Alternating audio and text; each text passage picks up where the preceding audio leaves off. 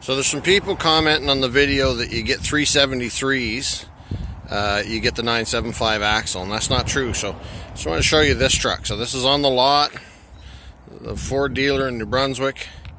I just pulled in. So there's a truck. You go to the window sticker. You can see right there by my finger, 373 electronic locking rear axle. Okay, it's no charge because the truck truck is an FX4. And you go around and you look underneath the truck.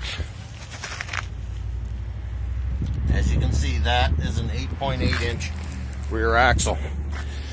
So that just proves it when you uh, when you get that when you get that uh, snowplow truck package, that's how you get the 975 axle. And and if you want to have a look on my Instagram uh, at Fabulous Off Road Designs, you'll see uh, you'll see a comparison of the two axles so you can tell the difference. Actually, this is my truck.